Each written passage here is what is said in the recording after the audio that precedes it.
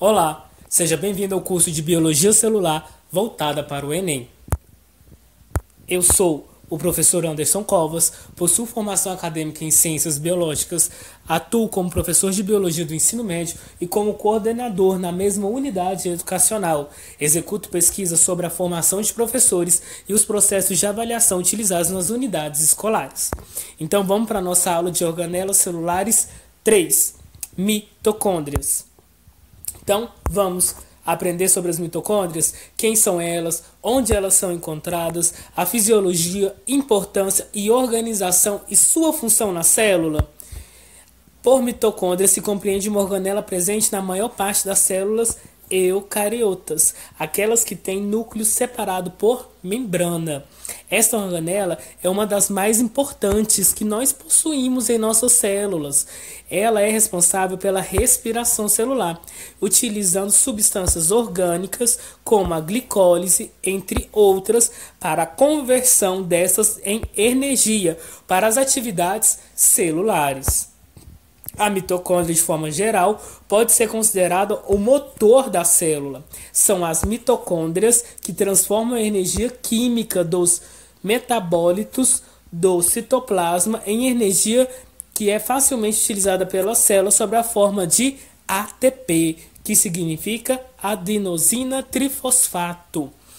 Por serem o motor, elas são encontradas em grandes quantidades em células que demandam grande consumo energético, como as células do sistema nervoso, coração e sistema muscular.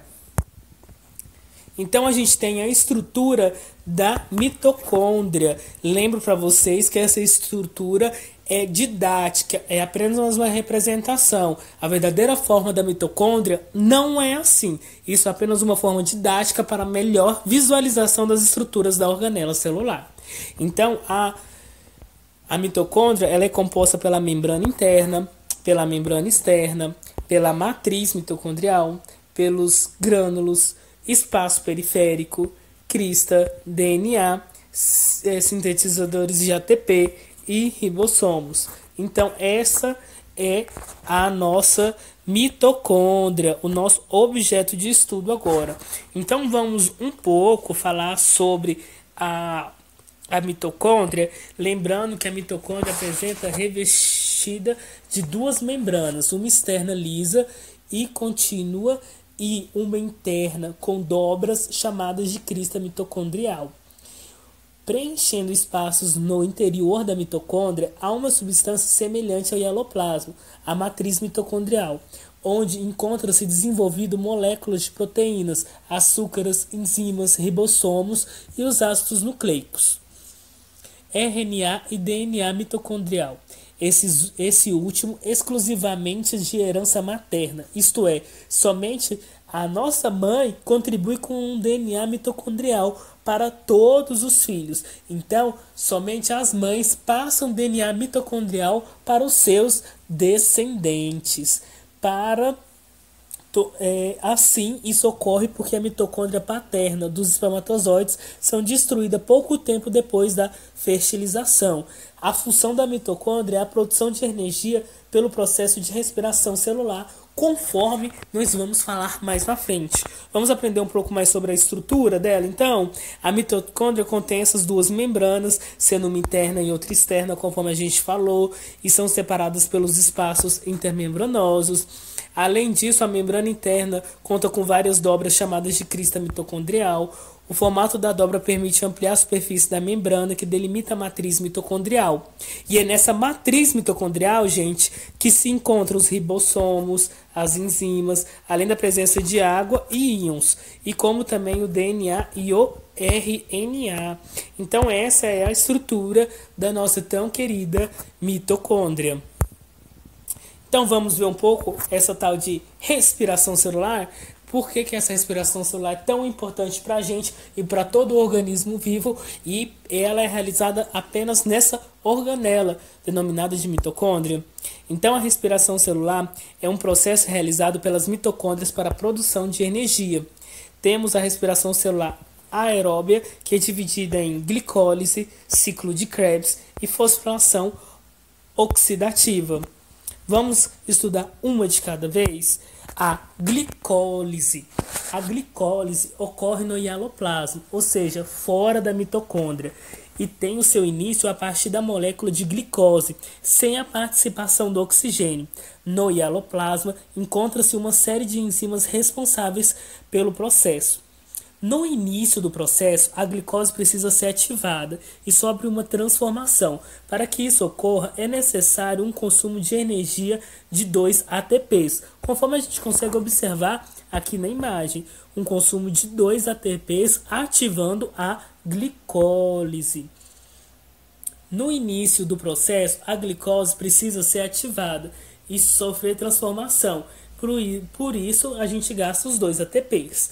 Em seguida, o que, que ocorre? As moléculas de glicose perdem o hidrogênio. Observem o esquema. Elas perdem o hidrogênio, que não podem ficar livres na célula, para não deixar o pH celular ácido. Essas, esses hidrogênios são então capturados por um aceptor inter, intermediário chamado de NAD que se liga aos hidrogênios e transforma-se em NADH ou NADH2. As moléculas de glicose são finalmente quebradas em duas moléculas de piruvato ou ácido pirúvico e libera e libera nessa quebra energia suficiente para formar 4 ATPs.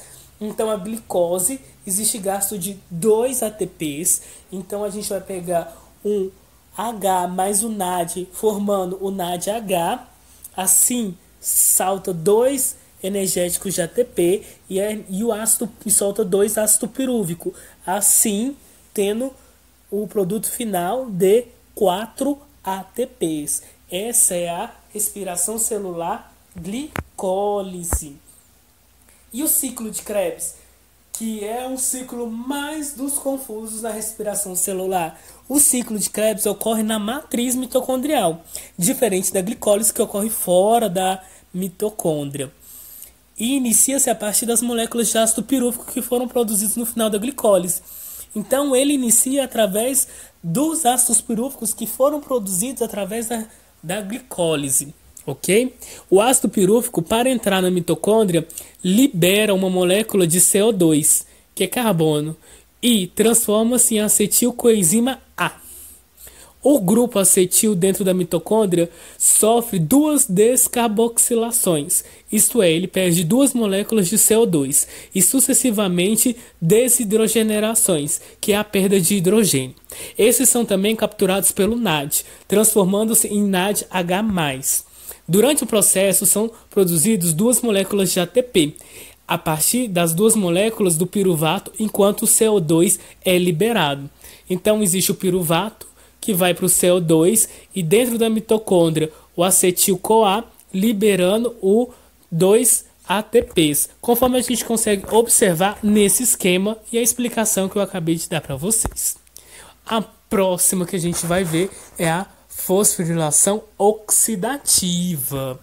A fosforilação oxidativa é a cadeia respiratória ou transportadora de elétrons, ocorre nas cristas mitocondriais e com a participação do oxigênio. Na cadeia respiratória, os NADH+, produzem produzidos nas duas etapas anteriores, tanto na glicólise quanto no ciclo de Krebs cedem os seus hidrogênios com energia acumulada para o oxigênio. No entanto, o NAD nunca se combina diretamente com o oxigênio, já que essas reações liberam muita energia prejudicial à célula. O que ocorre de fato é que no NADH+, liberam os hidrogênios carregados de energia a um grupo de substâncias chamada de citocromos que são enzimas presentes nas cristas mitocondriais. Ao longo dessa cadeia, ocorre a liberação de energia em etapas, sendo que a energia liberada é utilizada para produzir 34 novas moléculas de ATP. No final, os hidrogênios, já sem o excesso de energia, combinam-se com os oxigênios, formando água e impedindo que a célula morra pelo excesso de hidrogênio, liber liberados que alterariam o pH celular, deixando o meio extremamente ácido, conforme a gente consegue observar na imagem todo o processo de fosforilação oxidativa. Então, pessoal, a gente acabou de ver os processos de respiração celular, que é glicólise, ciclo de Krebs e fosforilação oxidativa. Então, obrigado por assistir mais essa aula minha. Estou te aguardando na nossa próxima aula. Um beijo no coração e até lá.